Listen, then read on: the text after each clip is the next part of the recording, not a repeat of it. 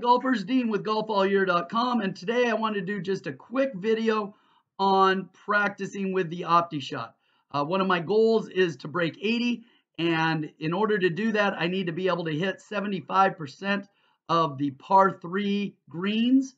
And so this is a great way to practice that very quickly. You can do it in in no time at all uh, and it really focuses you on hitting the green um, with your irons. And so uh, this is a par three uh, course that I like to just play and, and see if I can get it onto the green and move on. Uh, so let's take a look at what I like to do on um, using the par three uh, on OptiShot. All right, golfers. So sometimes practice can, um, with the OptiShot, can be uh, a little stagnant, and so I like to mix it up. I like to also play uh, a par three round here is how I do it, and I can play this uh, quickly in uh, you know a matter of uh, half an hour or so, and really get in um, some good practice, especially with my irons, uh, and to really see if I'm hitting the ball well or not. Uh, I can do this, and so here's how I go about uh, playing the par three courses. So the first thing you'll want to do is you'll want to go and click on play and practice.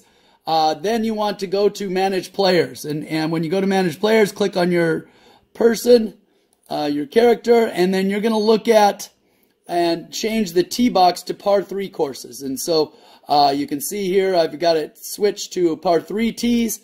Click save, click back, and then go play a game.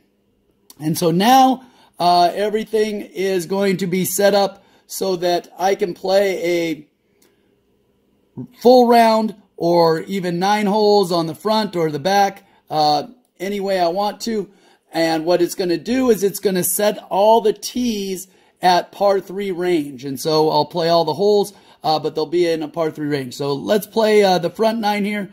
I'll click play and I'll show you what I'm going to do uh, to speed things up. Um, one of the things that I've done is I've set the settings uh, on OptiShot. Um, let me get in here and get right to the settings here. You can go down to, excuse me, where am I going here? I'm going over here to settings and options, uh, and then go to game rules. What I've done is I've set the auto putt within a set distance. I've set it to 90 feet, so that will be anytime it is on the green in any way, shape, or form for the most part, uh, it will automatically auto putt. So it'll uh, kind of guesstimate uh, what you would get in terms of putting. So sometimes uh, you'll get, uh, you know, if you're within 10 feet or so, you'll you'll get a birdie. Uh, sometimes you may just get a par. Sometimes they'll have you three putt. It's kind of random, but it's kind of fun to, to just play with it.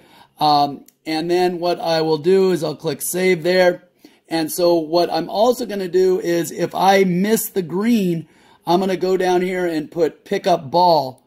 And it'll give me this little uh, screen and I will just enter a four and move on. So it'll speed up play. I'll give myself a bogey and move on to the next hole. And, and so I'm going to see how many birdies I can get, see if I can get it close enough to get a birdie and so forth and, and kind of compete with myself here on the round. Okay, so let's uh, see how that goes.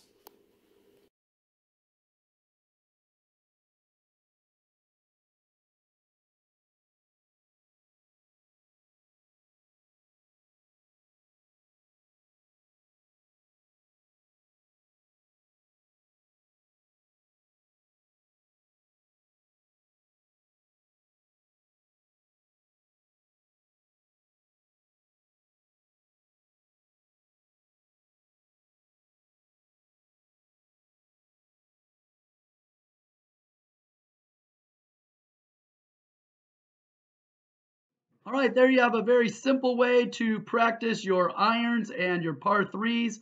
It changes it up for you. Uh, it is a great way to compete with yourself. I like to try and get 75% uh, greens in regulation and to see how many birdies I can get. Um, I had one uh, birdie in that that um, test and it hit only 66% of my greens, so there's something that I can work on. I hope this helps. Uh, maybe try it out and let me know. Uh, please subscribe to my YouTube channel. Comment down below. I'm really here to, to try to help everyone get better at golf uh, using uh, budget simulators.